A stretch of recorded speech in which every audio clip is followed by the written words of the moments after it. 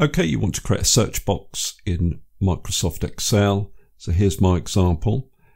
I can select whether I want to do a contain search or a begin search. And I can also specify the column I want to perform the search in. So for example, if I typed a J in here, it will return all of the first names that contain a J. But I could say, well, let's only return the first names that begin with a J. I could change the column that I'm performing the search on. So let's say Joan.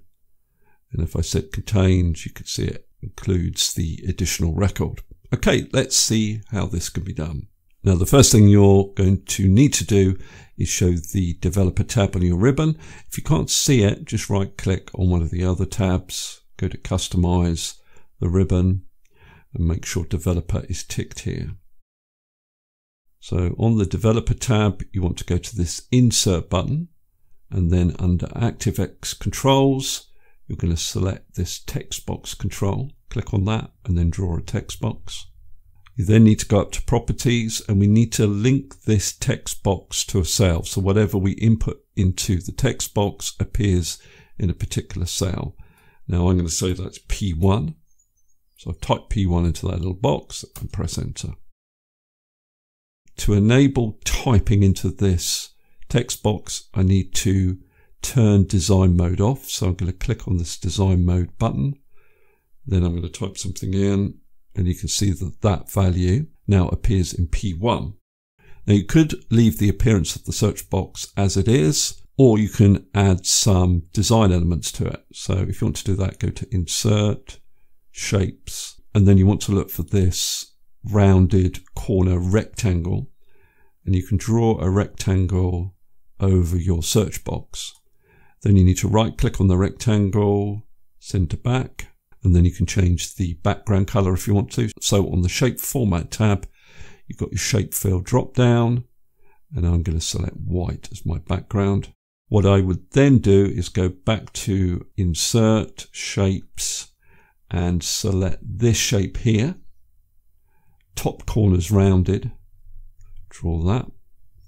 And then if you rotate it so that the rounded edges are on the right of the shape, you can then drag it up into your existing shape and then resize it. Then you can put a little magnifying glass into that shape. So if you go to insert icons and just type search in that search bar, that'll do. Insert that and then I could change the color of that shape to white, drag it into position, resize it. Okay, we've got a basic search bar. Now we're going to have to write a formula to return the relevant records based on whatever we type into the search bar. Now, before we do that, we're going to put this data in a table. Now, the way to do that is to click into it and then go to Insert Table and click on OK. You can then remove any of the table's formatting by going to this little drop down and then going to Clear. You then want to give the table a name. So I'm going to call this Contact List and press Enter to store the name. Now the reason I'm putting the data in a table is one, it's easy to refer to within a formula, but also it creates a dynamic range. So if I add new records to this database, the formulas that I'm going to write will automatically pick up those new records. Now, having done that, I'm then going to copy these column headings over into the search results area. Let's just put some text in this search box. And remember the text is linked to cell P1. Right. Now, the first function we're going to use within our formula is the search function.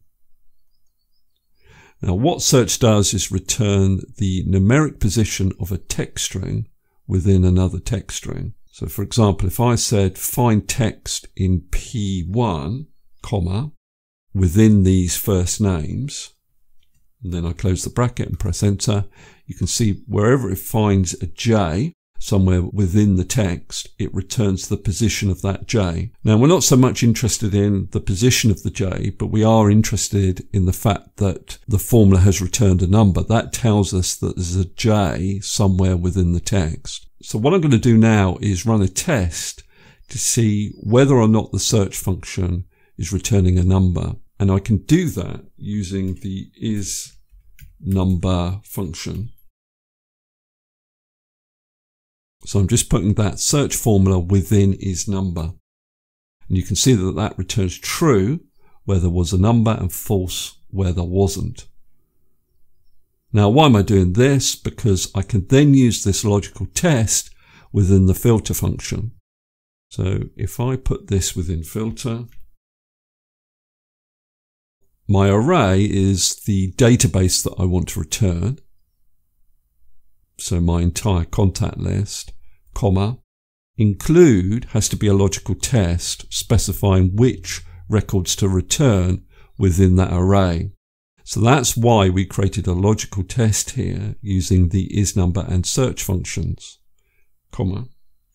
Is empty is a useful argument. You can specify what you want to return if no records met your include criteria.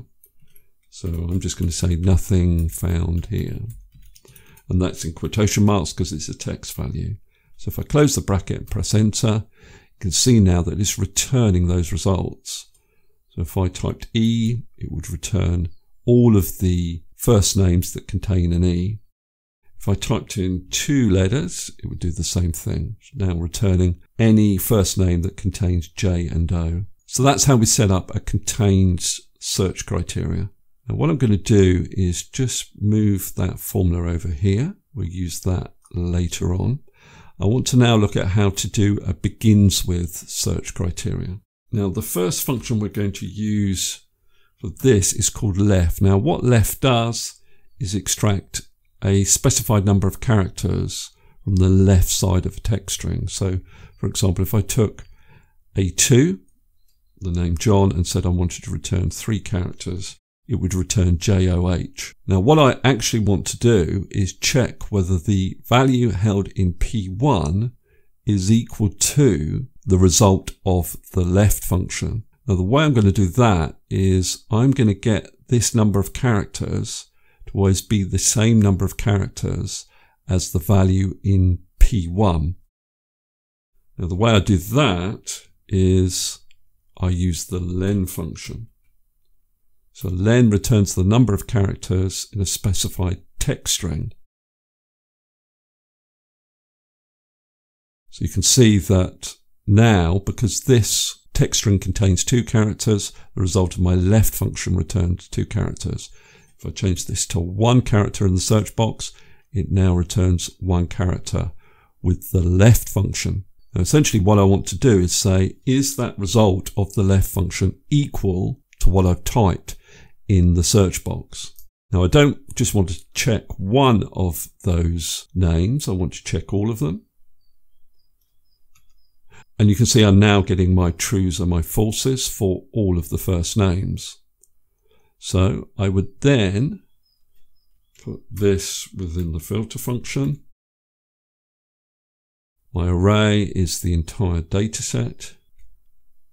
Include uses my left function and my if empty is nothing found here.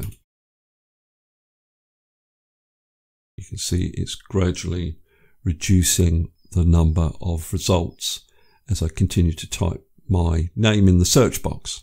Now eventually what we're going to do is combine these two formulas into one formula, but we need the ability within our search box to specify whether we want to do a contains search or a begins with search. Now the way I'm going to do that is I'm going to go back to the developer tab. I'm going to go to insert. I'm going to use this option button. I'm going to click down here and I'm going to type contains.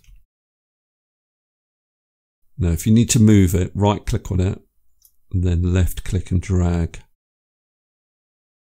And I'm going to add another option button. And this is going to be starts with.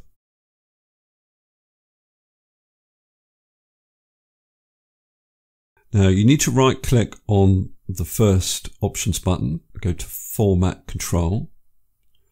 Make sure you're on the control tab and make sure that the value is checked. And you need to link it to a cell. So I'm going to link it to P2. Click on OK. So now if I select contains, can you see that I get a 1 in P2? And if I select starts with, can you see I get a 2 in P2? So essentially, if P2 contains a 1, I want to perform this formula that does a contains filter. But if it contains a 2, I want it to run this formula that does a begins with filter. Now the way I'm going to do this is with the choose function. If you haven't used the choose function, just explain how it works. So your index number, you would link to the output of your options button. And I'll just give you a simple example to begin with. Let's say my value one was goat and the value two was pig. You can see now that with starts with selected, which gives me a value of 2 here, I get a pig. But if I select it contains, I get a goat. Now let's move this formula down here. And I'm going to go up to this second formula we created and I'm going to copy this include criteria. Control C. Then I'm going to go into my original formula and I'm looking at this include argument. Now that include logical test needs to change based on the value in P2. So the include argument is actually going to use the choose function. The index number is in P2, comma. So value one is the contains logical test, which I've already got there. And value two so I'll put a comma in after that, close bracket, is going to be my starts with criteria. So then I need to close the bracket for choose and then press enter. So now this formula will basically respond to whatever I select up here. So if I get rid of that version of the formula, drag this into position, let's say we have a J as our criteria, contains at the moment includes Benjamin, but if I say starts with, it excludes Benjamin. Now at the moment, the criteria always applies to the same column, to the first name column. Say we wanted to apply the criteria to different columns. Well, what we could do is have a drop down list where we select the column we want to apply our criteria to. Now to put a drop down list in your search bar, go back up to the insert button. This is on the developer tab and under form controls, use the combo box and I'm going to draw a combo box here.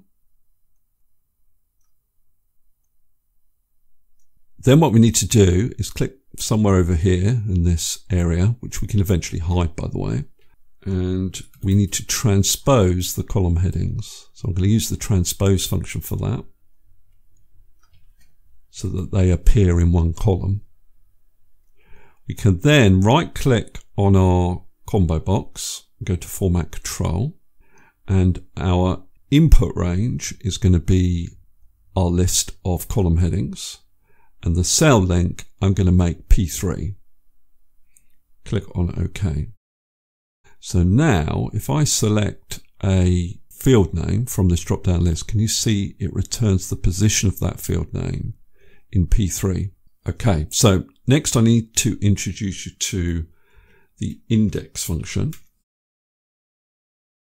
You may have used this before. And there are two versions of it. We're using the array version. Now our array is going to be the entire data set. Row number we're going to leave as blank. The column number, so the position of the column that we want to return values from, is going to be specified in P3. Close the bracket and press enter. Now with index, because we left the row number blank, it returns the entire column. So if I change this field name to last name, you can see it's now returning the last names. First name, it then returns the first names. So what we need to do is take this formula and copy it, go back to the formula we have up here, and wherever we're referring to the first name column, we need to replace that with the index function. So for example, here and here. Press enter. Now I can get rid of the index function down here. So let's see if this works. At the moment, the criteria is being applied to the first name column. Let's see if we can apply it to the last name column. Can see how that works. Now, one little tweak you are going to need to make. If I delete the criteria from the search box, you notice that it actually returns all of the records. Now, that's probably not what you want. Now, to get around this, what you need to do is go back to your formula and put the current formula within an if statement. And in the logical test argument, you're going to say, is P1 equal to an empty text string? Comma. If true, you want to return the following text, and this goes in quotation marks. Please supply a search criteria in the search bar or search box comma. Your value of false will be the filter function, and you'll need another close bracket at the end of your formula. So now I just get that message rather than all of the data. It'll still work. If I type in my criteria, it returns the relevant records. All these workings up here can be hidden, so you could either hide the columns or you could just format the cells with a white font. One thing before I finish the video, because we are using these controls, you're going to need to save the workbook as a macro enabled workbook. Now to do that, if you don't know, you go to file and when you go to save, you need to make sure that your file type is macro enabled workbook with the file extension .xlsm do not save it as a normal Excel workbook. Okay, that's all I wanted to cover in this particular video. Hopefully that's useful. If it is, please give me a thumbs up and subscribe, and I'll see you next video.